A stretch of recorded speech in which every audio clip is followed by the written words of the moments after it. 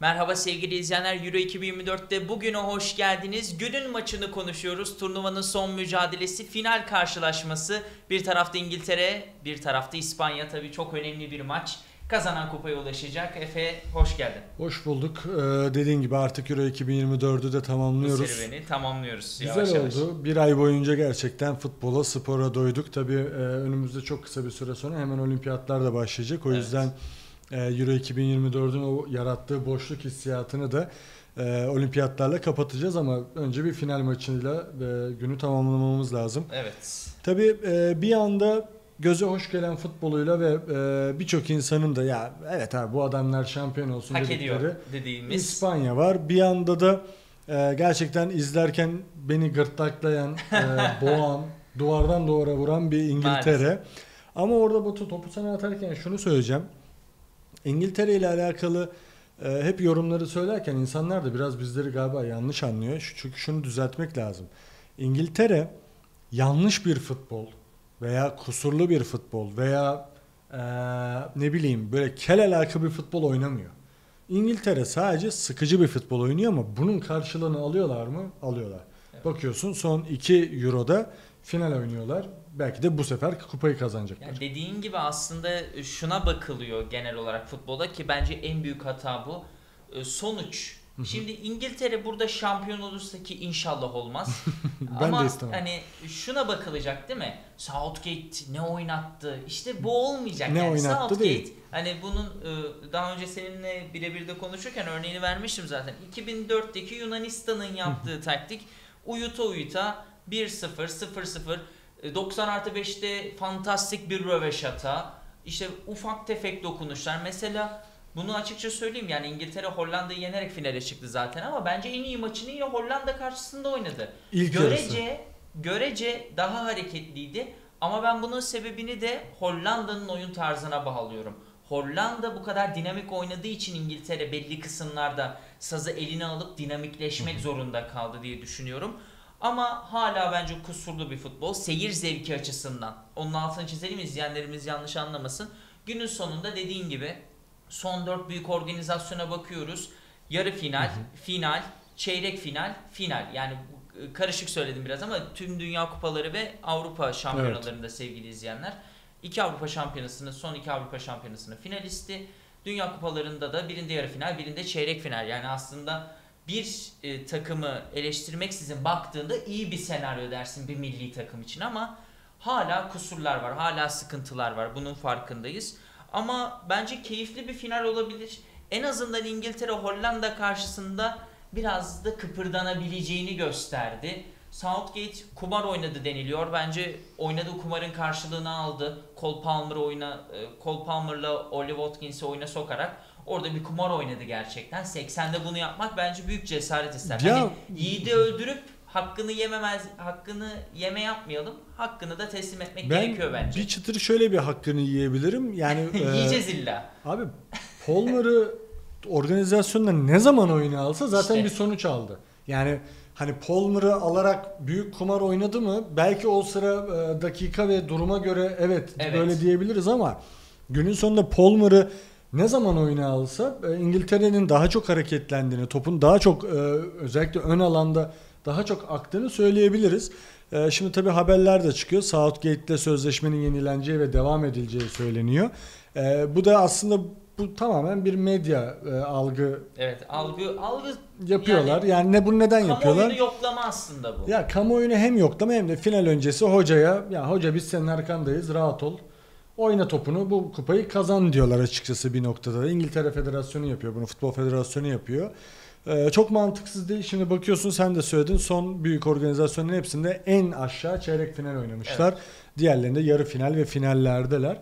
Ama bir şeyi kazanmak yani bir kupayı kazanmak, bir kupada sonuca varmak tabii ki de çok önemli. Günün sonunda tarih şampiyonları yazar. Evet.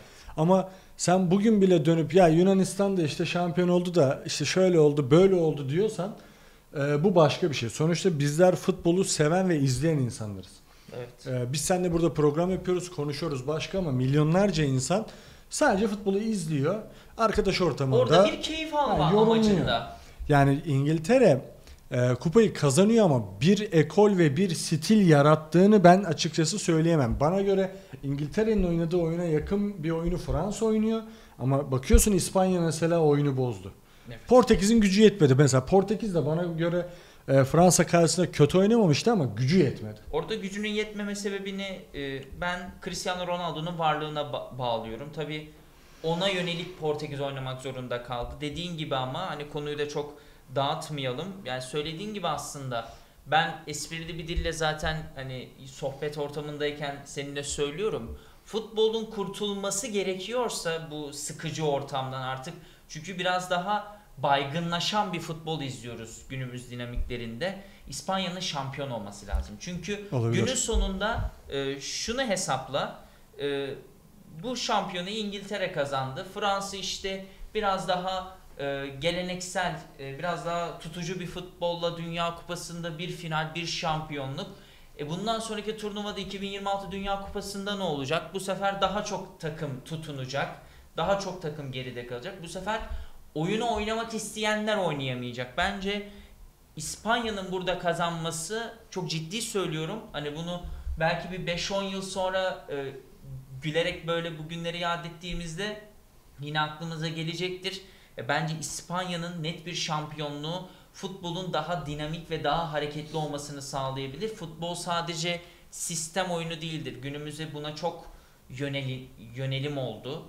Futbol sadece sistem değildir. Futbolda mesela bakıyorsun tabii 2000'lerle 90'larla kıyaslamak pek mantıklı değil günümüz futboluna ama bireysel meziyetlerin ne kadar önemli olduğunu mesela şimdi en ufak bir çalım atan, dribling yapan oyuncu görünce tabiri caizse ekmeği ekrana banıyoruz yani. Ya çok Artık o çok sıkıcı bir hale gelmeye başladı. Çok basit bir şey var. 2002 Brezilya'nın Dünya Kupası e, kadrosunu muhtemelen şu an birine sorsan 11 oyuncunun 8'ini falan kafadan Evet. sayar. E, yıl 2040 olduğunda velev ki bu kupayı İngiltere kazandı. Ya Euro 2024'de İngiltere kazanmıştı. Kimleri hatırlıyorsun dediğinde bir Bellingham dersin. Bellingham, Harry Kane der geçer herkes. Üçüncüyü belki de kimse hatırlamayabilir. Evet. Bu biraz yarattığınız, oynadığınız futbolun etkisidir. Yani günün sonunda şimdi bak. eee, bu tamamen yani neyse sallamayayım kimseye de. Şimdi sistemler işte taşlar koyuluyor, öyle yapılıyor, böyle Hall yapılıyor. space'ler falan böyle Herkes pasta uçuyor da. döndü sahaya. Günün sonunda bunun izleyicisi olmadan yorumcunun yorumladığı bir çöp. Bu kadar basit. Günün sonunda bu organizasyonların en büyük yapılma sebebi milyonlarca insanın bunu izlemesi. Ya Dünya Kupası diyorsun bir buçuk milyar insan izliyor. tabii. Bu sen burada e, yorum yorumla diye bunu yapmıyorlar. Yorumla diye ya, izlettirmiyorlar bunu. Kesinlikle. İnsanlar yani. burada futbol izlemek istiyor, futbolu Evet. yorumlamak istiyor, güzellik görmek istiyor. Yoksa e, yani bu bu arada sistemin sisteme sadakatli olmanın veya yaptıkları bu düzenin çir kötü olduğundan, yanlış olduğundan Evet. değil. Sıkıcı kardeşim bu kadar basit. Euro 2024 geçti. Akılda kalan maçları şimdi bak organizasyondan bir ay sonra insanlara sor. Kimsenin aklına kalmayacak. Bizim insanımızın, bu vatandaşlarımızın aklında bizim kendi milli maçlarımız kalacak. Evet. İşte bir e, şöyle bir bakıyoruz. İspanya'nın birkaç maçı kalabilir. Almanya'nın İskoçlara attığı 5 kalır. Başka da hiçbir şey kalmaz. Evet, Çünkü maalesef. ölü top, oyun oyun yani o kadar artık satranç noktasına geldi çok ki. taktik oldu. Çok taktik Sıkıyor insanları bu. girdi. Belli bir noktada aslında dediğin gibi bak bir ay sonra mesela turnuvayı konuşalım. Hatırda kalacaklar olan kimler biliyor musun? Şampiyon takım haricinde. Kim kalır ben sana söyleyeyim. Arnavutluk kalır. Evet. Gürcistan kalır. Türkiye kalır. İsviçre kalır. İsviçre Çünkü kalır. bu takımların oynadığı futbol izleyene zevk verdi. Zaten sosyal medyada milyonlarca etkileşim gördük. Hatta esprili bir söylem bile yapıldı. Hani UEFA Balkan Kupası diye bir şey getirsin diye.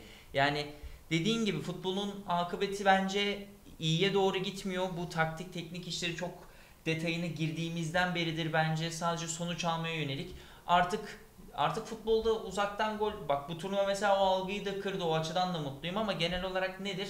İşte kanatlardan boşluğa in, ceza alanının köşesine in, içeriye çevir gol. Artık hani oyunun oynanabileceği yer çok daraldı. Ben bundan rahatsızım. Tabi genel futbol yorumunu kenara bırakırsak tabii Ya ben iki büyük şey ekol söyle. Ee, benim bir tane arkadaşım vardı. Ee, buradan kendisine de selam olsun. Müthiş konsol oyunu oynar futbolda. Ee, ve biz onunla oynarken genelde ben biraz sinirlenirim ona. Çünkü oyunun bütün dinamiklerini ezbere bilir. Ona göre oynar ve e, bana göre normal futbolda olamayacak şeyleri yaptığı için çok da ciddiye almam. Aynen. Genelde o konsol oyunlarına da bakış açım bu. Ee, geçen gün onunla sohbet ederken aynen dedim ki ya şu anki dedim oynanan futbol senin konsolda yaptığının aynısı. Evet. Yani e, yapılacak iş belli. Bazı takımlar bunu çok iyi yaptığı için önlem alamıyorsun. Bazı takımlar da daha az yaptığı için önlem alabiliyorsun. Bu kadar. Yani bir takım işte atıyorum mesela çeyrek finallere bakıyorsun. Bütün çeyrek finallerin hikayesi çok iyi savunma yapan orta segment bir takımla çok iyi hücum yapan bir A sınıfı takımdı. Ne o çok iyi savunma yapabildi ne o da o kadar iyi hücum edebildi. Yani tıkan oyun çünkü tıkandı mı Evet. tıkanıyor yapacak bir şey yok. orta alana tıkanan aslında bir futbol diyebiliriz. Tabii şimdi final saat 22'de oynanacak sevgili izleyenler. Hı hı. Berlin Olimpiyat Stadında keyifli bir final mücadelesi bizi bekliyor. Efe genel olarak takımlara bakıp tarttığında bir tarafta İspanya bir tarafta İngiltere. İspanya'da cezaları sona erdi. Carvajal ile Lenormand'ın cezaları sona erdi. Pedri'nin sakatlığını biliyoruz. İngiltere'de herhangi bir eksiklik yok. Az çok e, De La Fuente'nin de ne oynatacağını biliyoruz artık. 7 maç oldu izleyeli. Southgate'in de maalesef biliyoruz. Southgate nefretim hiçbir zaman bitmeyecek sevgili izleyenler. Affınıza sığınıyorum. Sen ne, nasıl bir maç bekliyorsun? Kimler üzerinden sence bu final mücadelesini okuyup yorumlayabiliriz? Ee, yani e, İngiltere'nin Southgate'in ne oynatacağını biliyoruz ama Southgate e, Southgate bence burada bir kumar daha oynayacak. Bunu nasıl yapacak bilmiyorum. Tam tahmin edemiyorum. Bir şey yani Bir sürpriz hamle mi? evet oyunun gidişatına göre bence değiştirecek ama benim buradaki en büyük noktam şu. Ben e, İngiltere'nin sağ ve sol beklerini hiç beğenmedim. Yani Walker'ı da bu organizasyonda beğendiğim söylenemez. Buradaki nokta e, İngiltere İspanya'ya kanatlarda nasıl bir cevap verecek? Çünkü Carvalho geri dönüyor. Carvalho bana göre son yılların en iyi beklerinden biri.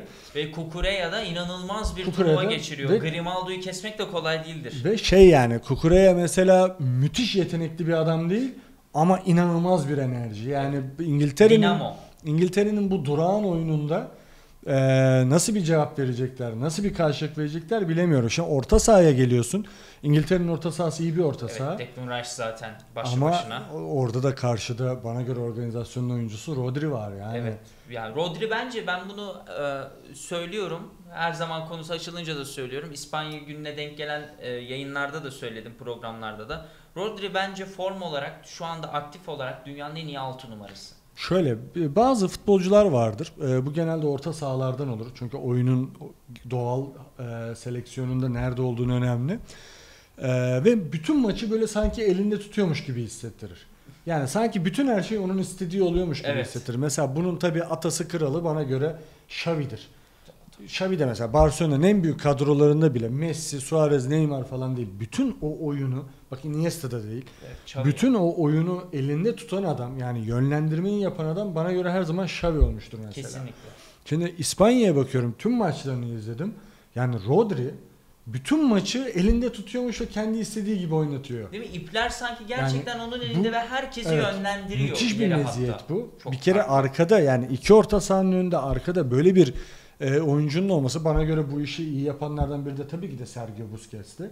Ama Busquets mesela çok yetenekli bir adam değildi. Ayakları çok iyi bir adam değildi. Mesela Rodri'nin Rodri'nin golleri de var. Evet. Hani keza birebir izlediğim için yani yerinde takip ettiğim için söylüyorum. Şampiyonlar Ligi finalini hatırlayalım İstanbul'da oynanan. Çok Golü tutuyor. kaydetti yani. Ya bütün orada, maçı tutuyor yani. Orada yani oyun rakip ceza alanına hapsolduğu zaman ceza alanı dışarısından aktarabileceği paslarla çekebileceği şutlarla her zaman tehlike yaratıyor. Zaten İspanya'nın kanatları belli. Lamine Yamal yani Fransa'da Fransa'ya ne gol attı ya. Arda'yı iyi izlemiş. Tabii onu söyleyelim ama bir tarafta da Nico Williams Ya muhteşem bir hücum attı. İngiltere'de de var ama oynamıyor işte. Her organizasyon kendi yıldızlarını yaratır. Bu, bu organizasyonun en büyük beklenen yıldızları bence Mbappe ve e, Bellingham'dı. Mbappe'nin burnu kırıldıktan sonra bana göre hiçbir şey oynamadı yani. Oynamadan Mbappe- geçti gitti. Fransa hiçbir şey oynamadan yarı finale Onlar da çıktı. nispeten kendilerinin Akan oyunda gol düştü. bulmadan yarı finale çıktılar. Abi bu bak bu hem ya bu bizler için kötü, onlar için bir meziyet. Yani bu yapacak bir şey yok buna. Dediğin gibi. Ee, ama Lamine Yamal burada gerçekten bütün organizasyonun number one'ı oldu. Evet. Ben finalde e, bir adım İspanya'yı önde görüyorum. Gönlüm dersen gönlüm de İspanya'da. yani. Senin dediğin şeyi de önemsiyorum. Yani dünya futbolunun biraz olsun farklı bir yöne gitmesi için İspanyolların ya kulüp düzeyinde ya e, ülke düzeyinde bir şeyler yapması gerekiyor ki Evet. burada diyeceksin ki abi e, Real Madrid Şampiyonlar Ligi'ni her sene kazanıyor neredeyse ama Real Madrid o İspanyol ekolünün tam böyle e, şey değil. Vuku bulduğu bir kulüp Tam değil yani Evet. e, orada tabii olağan şüpheli her zaman Barcelona olmuştur. 2008-2012 iki- e, 2008-2012 arası iki Avrupa bir Dünya Kupası Kolay kazanan değil. e, ülkenin İspanya'nın çekirdeği de tamamen Barcelona'dandı. Yani Evet. iki e, bir stoperi Bar- Barcelona'dandı. Hatta kimi zaman iki stoperi Barcelona'dandı.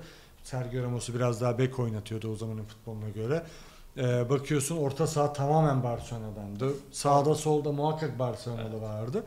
E, yani burada biraz Barcelona futbolunun bu e, aslında Cruyff'un yarattığı total futbol anlayışının e, bir şekilde aslında yeniden canlanması, yeniden gündeme gelmesi demek İspanya'nın bu organizasyonu kazanması ve pas oyununu da yani İspanyollar kadar iyi yapabilecek bir e, Yok. kültür de yok zaten. Dediğin gibi. Yani e, denk geldi mi Hollanda tabii bunu yapabilir ama Hollanda'da da şu an öyle bir jenerasyon yok.